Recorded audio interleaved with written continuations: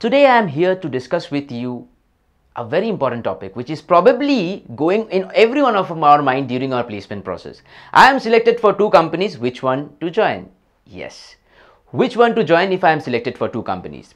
So today in the next couple of minutes I'll try to give you an answer to this question which probably most of the graduates, fresh graduates, be it a part of uh, engineering or a management education faces during their placement process. See what is more important, number one, always remember it's not the company, it's what your passion that matters. So if you're passionate about something, uh, for example, if you're passionate about designing and if you have a choice to join a company which is into coding and which is into designing, maybe the coding company at initial level is paying you more. But the designing company, maybe the package is not that much. But trust me, if you join the designing company, your chance of growth into uh, your career would be more because you are passionate, passionate about designing.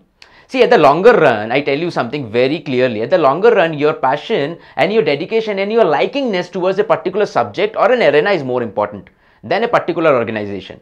Number two, always see when, if you are hired between two companies, always see what profile you are giving at.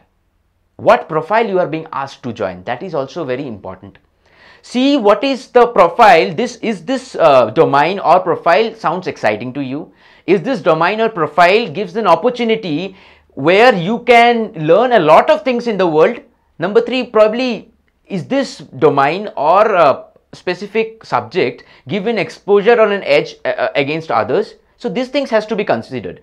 Next point please remember when you select between two companies don't select with just mere for the sake of brand name. This X company has a brand name probably higher than Y company. See, for you, probably X company's brand name is higher than Y company because you have heard that company's name from childhood.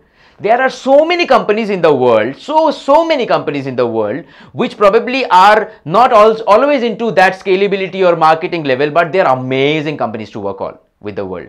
So please do a research, please talk to your seniors, please talk to your teachers, please talk to someone from the corporate who can guide you on selecting a company.